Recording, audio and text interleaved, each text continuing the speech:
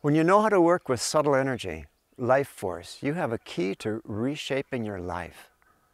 One of Paramhansa Yogananda's greatest gifts to the world was a vast array of yoga techniques for doing exactly that. They'll help you to have more energy, strengthen your willpower and magnetism, work with emotions in healthy ways, achieve your goals, attune yourself with divine consciousness, and much more.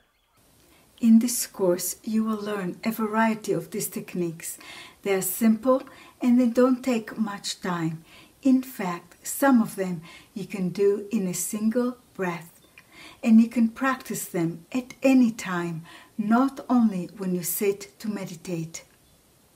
If you're like me, every day you'll find a number of these techniques to be invaluable. And after you use them, come online and share your experiences with fellow students.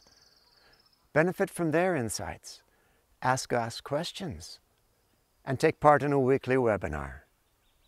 Be a spiritual scientist, experiment, apply these practices in everyday activities. As Yogananda often said, don't take my word for it. Test it yourself to see if it works. Only through your own experience can you truly know. These techniques have been helping us for many years, and they'll help you too.